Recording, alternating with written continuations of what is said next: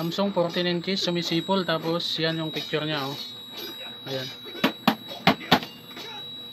Tignan natin kung anong naging problema. Tignan natin patagalin baka bumigay pa yung power supply.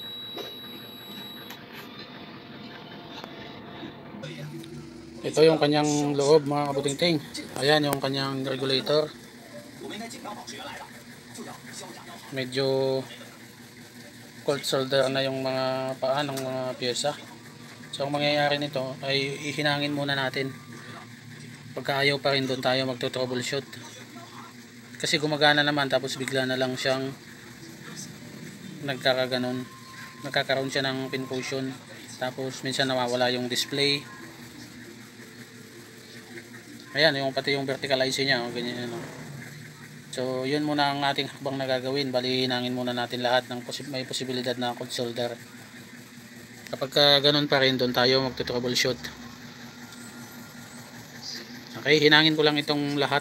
Magmula dito sa power supply, hanggang dito sa flyback, vertical, saka sa mga ibang parte ng horizontal supply, horizontal stage. Tapos, lahat na ng mga makikitang medyo nagkakaproblema sa hinang so ayun mga kabuting ting wali hinahin na, na lang muna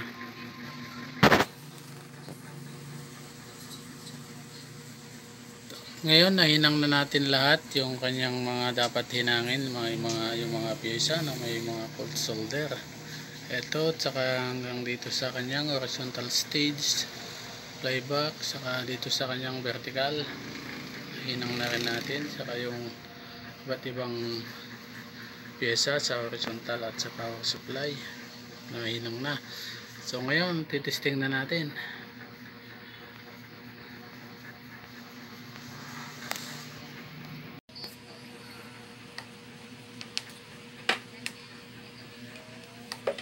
ito isaksak natin. Tapos sukatan natin ng voltahe para ma-monitor natin kung ilan ba yung kanyang supply.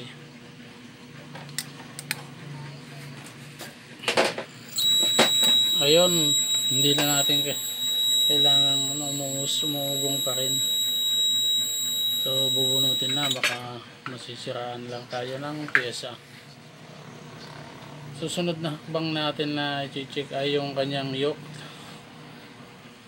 Titignan natin yung kanyang deflection yoke. Buksan natin.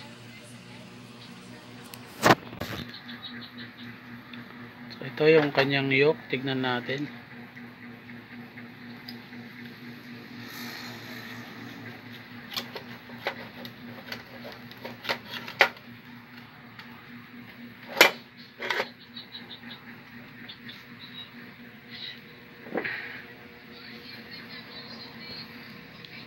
ayun oh, may sunog yung kanyang yoke. So ito yung problema niya. Wala sa kanya wala sa lost connection kundi nandito sa kanyang yoke. Ayan kitang kita sunog. Ayan. Ito yung yoke na sinubukan kong i-repair. Ikat yung mga nasunog na sa ibabaw pero masyadong marami yung nasa ilalim na sunog. Kaya hindi pwede. Umuusok dito banda. So ang ginawa ko ay nagpalit na lang ako ng yoke. Ito yon oh. at yan katunayan may dugtong kasi iba yung kanyang sakit. Ngayon ang problema bali nagkakaroon siya ng itim sa taas. Kulang sa adjust. So ito ngayon yung ating gagawin. Uh, gagamit tayo ng mag open tayo sa service mode nya ngayon ang service mode ng TV na to yung Samsung ay ito. Pipindot tayo ng unang una pala kailangan naka standby yung TV naka off tapos pipindot tayo ng yung mute. Mute. Tapos 182 then power. Lalabas yung kanyang service mode.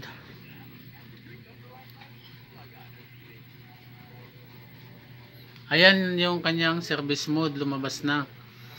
Ngayon, dito tayo sa adjust. Pipindutin natin yung adjust. Ayan, pag napindot yung adjust, pupunta tayo dito sa kanyang tong BE. Vertical adjust. Ayan, napunta na sa vertical adjust. Then, tignan nyo dito sa taas, mag-a-adjust yan.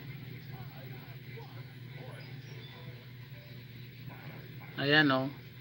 Unti-unting nag-adjust.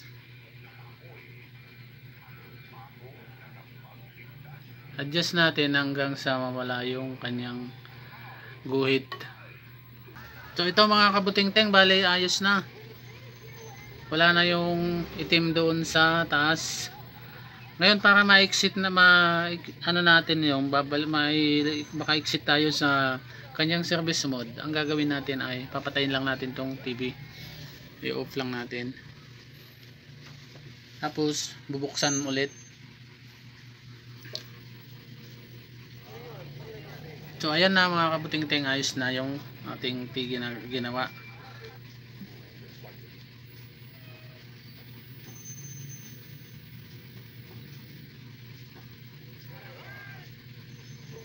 Ayan mga kabuting-ting oh.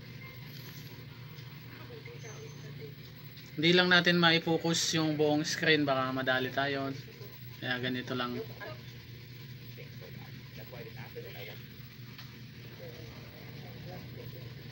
So, ganun lang mga kabuting-ting yung ating pag-open ng service mode ng ganitong model, modelo ng TV o yung mga CRT.